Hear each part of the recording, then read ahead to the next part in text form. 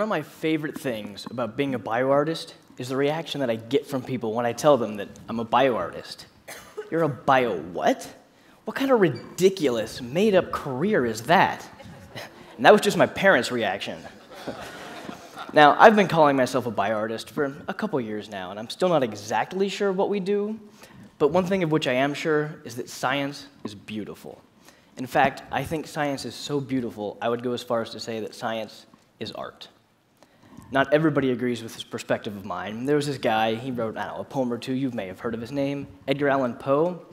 Well, he wrote this poem called Sonnet to Science. And now here's where I'm going to ask for your forgiveness as I'm going to attempt to recite to you a few lines from this poem. So please bear with me. Science, why preyest thou thus upon the poet's heart? Vulture whose wings are dull realities? How should he love thee, or how deem thee wise, who wouldst not leave him in his wandering to look for treasure in the jeweled skies? So Poe wrote about science as though it's some vulture out to snatch everything that's beautiful and mysterious in the universe away from the musings of the artists and the poets. He talked about astronomy like it's a thief in the night, stealing that valuable treasure out of the sky. Well, clearly, Poe never heard Carl Sagan talk about star stuff. Personally, I can't think of anything more beautiful, more poetic, more deeply moving and mysterious than the theory that every atom in my body, all of these atoms up here on stage that are working together to bring life to these cells and these thoughts to my brain and these words out of my mouth, all of these atoms were forged in the centers of ancient stars. Now, back when I was getting my undergraduate degree in biology, I fell head over heels in love with science. Every day's lecture brought new insights into all these complex systems that were at work in the world around me. The more I learned, the more enamored I became. I began to better understand and better appreciate my place among all these other particles floating around in space.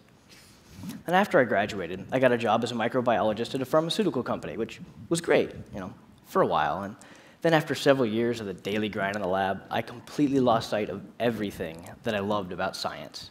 Microbiology became this monotonous train of all these tedious tasks, and I knew I needed to do something new, something that would get these cerebral fluids flowing around again.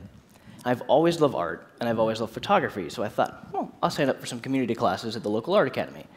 So I did, and one thing led to another, and the next thing I know, I'm in graduate school, getting a master's degree in art.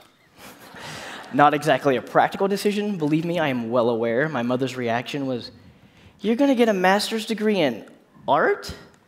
Well, don't worry, son. I won't make any plans for your bedroom back home anytime soon.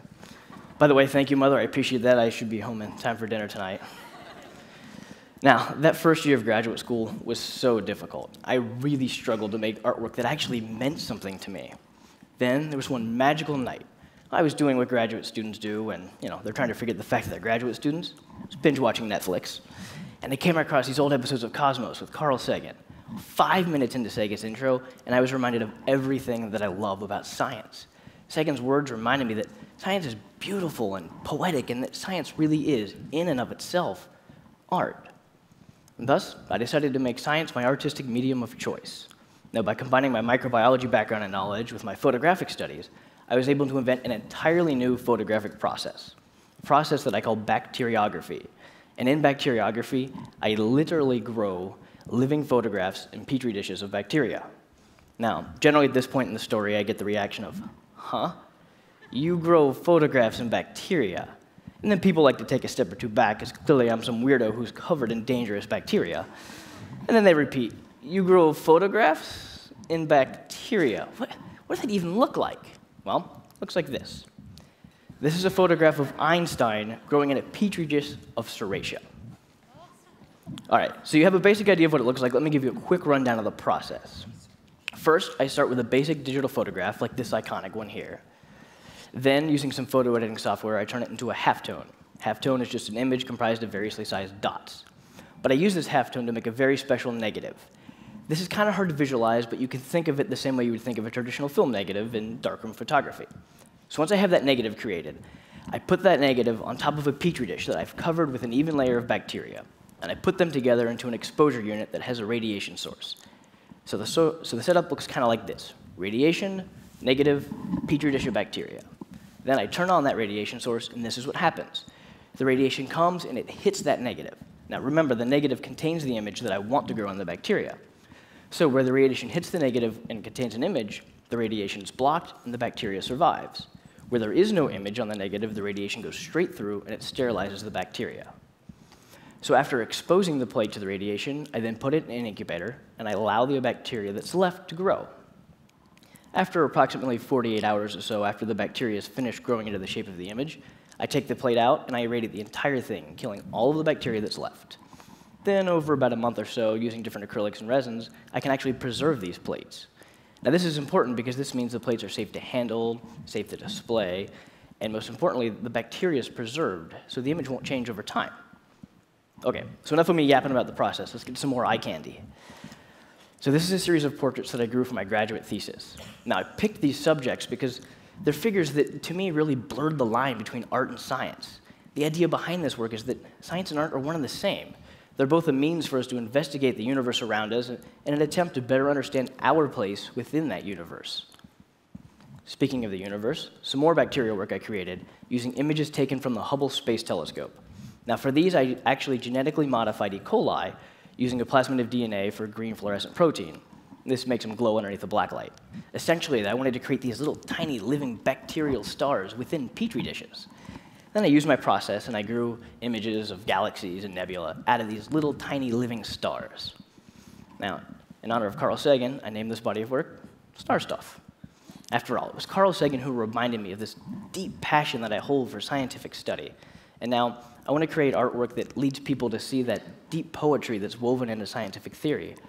I want to create artwork that reinvigorates burnt out researchers. Ultimately, I want to create artwork that gets people excited about science. And that's why I was ecstatic to work on this project with some British celebrities and a nonprofit based out of the UK whose mission is to boost enrollment in the STEM subjects by throwing events that make science fun and make science interesting. Now, while we're talking about some work that I did in the UK, case some of you out there are wondering what the jolly old queen might look like growing in bacteria, and come on, who isn't wondering that? There she is. now, my involvement with the TEDMED conference doesn't end with this talk. I actually grew some pieces specifically to display here. I have a couple images to show you. That's a piece called Frankly Speaking. Another one, Cubism is a bore. And finally, I found myself so inspired by my fellow speakers that I grew this piece here. You might recognize some of those smiling faces. Now, this piece and all the rest are actually on display out in the hive, so if you want to see what bacteriography looks like in person, and I mean, come on, of course you do, get out of the hive and check it out. Thank you.